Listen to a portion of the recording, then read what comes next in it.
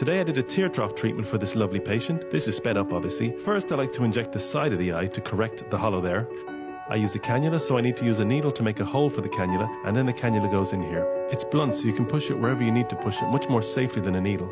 I know it looks gross, but you can get to this lovely spot in here, and you can literally see the tip of the needle.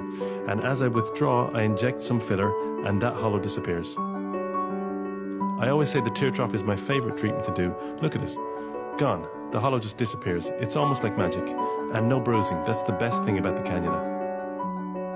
It usually takes me 5 to 10 minutes to do an under eye treatment.